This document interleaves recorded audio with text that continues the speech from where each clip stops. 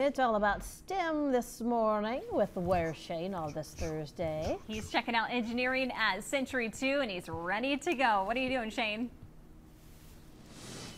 Hey, good morning, you two. Yeah, the Engineering Expo happening at Century 2 this weekend, and we're actually in a garage here this morning because we're working on some engineering of our own with two engineers helping us out here this morning. We got Pam, we got Rachel. Pam, we'll start with you. Okay. The Engineering Expo sounds like so much fun. Explain to us what's going on this weekend at Century 2. Okay, at Century 2 from 9 to 3 at the Expo Hall, we're having Engineering Expo. This is our 25th year.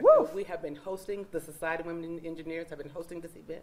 And it's for kindergarten through eighth grade, but all siblings can come because it's a good family event. Yeah. You'll need at least two hours to get through all of our activities that are hands-on that you're going to enjoy so much because we're talking about STEM, Yeah. science, technology, engineering, and math to enhance our kids about um, these great uh, things that they can be doing. Absolutely, and it sounds like so much fun. Like you said, a lot of lot of opportunities to get hands-on with a lot of this stuff. And Rachel, this is such a cool idea. And like Pam was just talking about, STEM is a huge portion of this. Uh, why is this so important to do? Because there's going to be a lot of young kiddos coming through checking out all this stuff. So the Society of Women Engineers is, of course, a bunch of women who are engineers and work.